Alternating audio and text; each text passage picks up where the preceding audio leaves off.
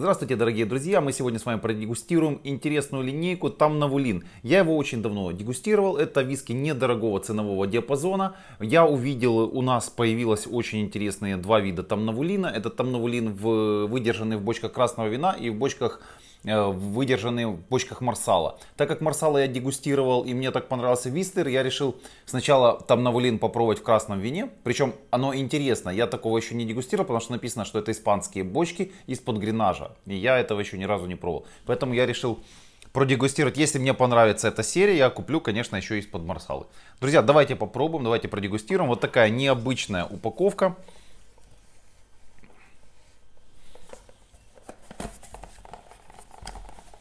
Сама бутылка выглядит вот так вот. 40 градусов.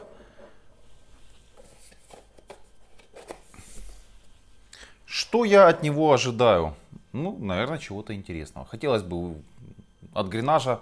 Это одно из моих любимых э, видов винограда. Я ожидаю всегда какой-то терпкости, какой-то густоты. Ну, давайте попробуем, давайте узнаем.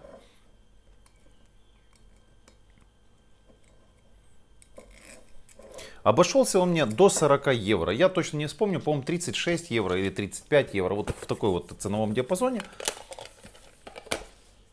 Пробка пластиковая. Ну, как я люблю говорить, что и у Анока 20 лет тоже была 24 года пластиковая пробка.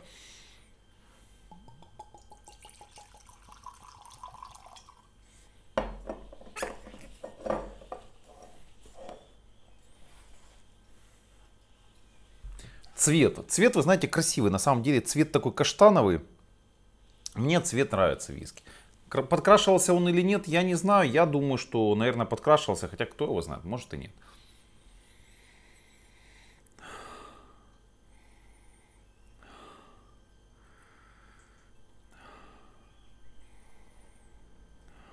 Ну, при том, что это 40 градусов, алкоголь довольно-таки сильно бьет в нос. Вы знаете, это удивительно, потому что я привык, ну, Динстон, который делает все свои виски 46 градусов, Бунна Хавен, который делает от 46 и больше градусов.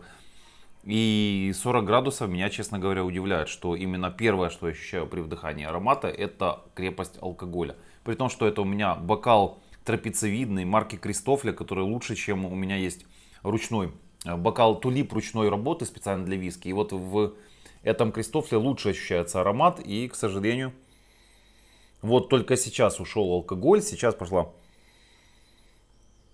Но вы знаете, аромат абсолютно простой. Он сладкий, чуть терпковатый. Я бы его сравнил с ароматом Джеймсона. Вот, вот честно, вот мне вот я чего-то вспоминаю. Вот такая вот сладость от Джеймсона. Есть вот терпкость.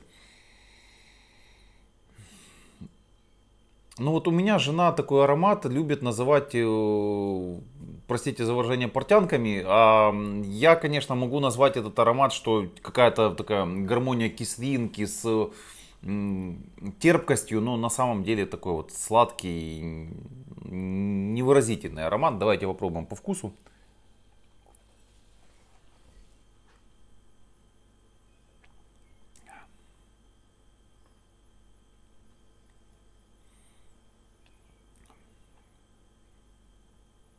Ну, по вкусу намного лучше. Если аромат мне, ну, честно говоря, разочаровал, я, наверное, были большие ожидания, потому что это надпись. Вот прям вот здесь вот написано, если вам будет видно. Специальный edition.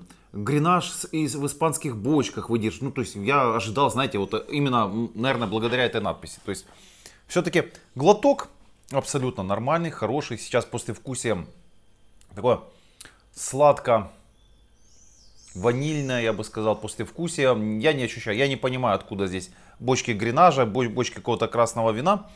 Давайте я сейчас подержу, ну, это нас, давайте я подержу там секунд 5-6. Может что-то будет происходить.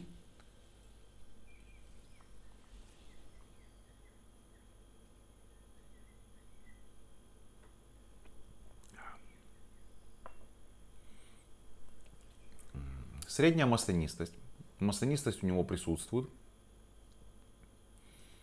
Пока держишь во рту, ну где-то на шестой секунде, на седьмой, вот э, сладость и пошла такая терпкость какая-то.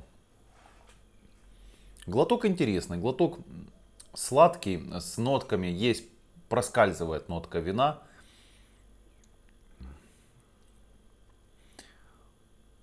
есть какой-то баланс кислости и терпкости, который потом исчезает в... Баланс кислости и терпкости исчезает потом в сладости. Что я могу сказать, друзья? Ну, в принципе, если вот э, Знаете, я хотел сказать, в принципе, если подумать, это неплохо. А потом вспомнил Динстон Virgin Oak, который стоит 33 евро, еще дешевле, чем он. И я вам скажу так, друзья, Динстон Virgin Oak лучше намного.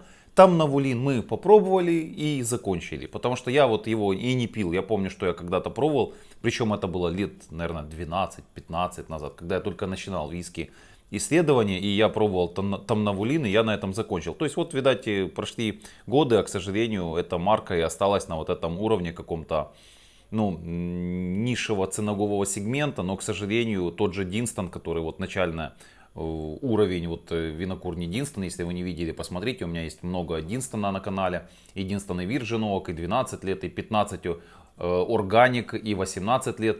И вот э, я скажу, что Динстон Вирджиновок, он будет получше, он будет ярче и больше, ну у него больше будет своего я, больше ярко выраженный виски. Этот виски пойдет, он пойдет в компанию, он пойдет под еду какую-то такую вот, он, он, он питейный, он выпьется. Но, чтобы я вам советовал его купить, я вам однозначно его не советую покупать, друзья. Я вам советую тогда выбрать Динстон Virgin Если у вас Динстон Virgin стоит 50 или 60 евро, ну тогда да, тогда этот виски за 35 вам пойдет. А иначе Динстон Virgin Oak даже за 40 евро будет намного интереснее и лучше. Конечно, я с вами прощаюсь там на Улином, он у меня только один на столе. Но исследовать Марсалу я не буду, я не буду портить свое впечатление от Вистлера Марсала. А, и виски сам называется Вистлер Мозаик, который выдержался. Друзья, хорошего вечера, оставайтесь с нами, пускай все будет хорошо. Если не жалко, поставьте лайк. Если вы дегустировали, Напишите мне, если вы дегустировали просто там Навулин и вам какой-то очень понравился, напишите, мне будет интересно и возможно я куплю и тоже продегустирую. До новых встреч!